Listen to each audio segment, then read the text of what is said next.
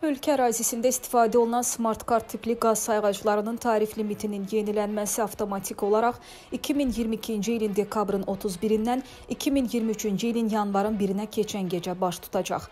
Bu sözləri Azəri Qaz İstehsalat Birliyinin İctimaiyyətlə Əlaqələr şöbəsinin rəisi Eldəniz Vəliyev deyib. Şöbə rəisinin sözlərinə görə hazırda Azərbaycanda smart kart tipli qaz sayğaclarından istifadə edən abonentlərin sayı 1 milyona yaxındır.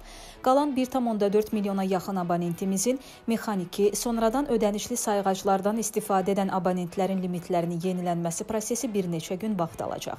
O əlavə edib ki, Nazirlər Kabinetinin müəyyən etdiyi qaydalara əsasən mexaniki sayğaclarda limitlərin yenilənməsi yanvar ayının 10-na qədər təmin olunmalıdır. Amma qarşımızda qoyduğumuz əsas hədəflərdən biri odur ki, limitlərin yenilənməsi prosesi yanvar ayının 6-sına qədər icra olunsun.